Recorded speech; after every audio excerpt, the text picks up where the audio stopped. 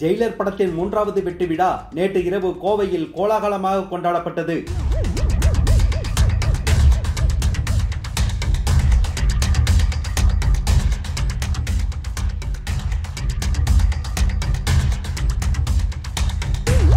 நிகழ்ச்சியில் ஜெயிலர் படத்தில் பணியாற்றியவர்களுக்கு super star கையில் பரிசு வழங்கப்பட்டது.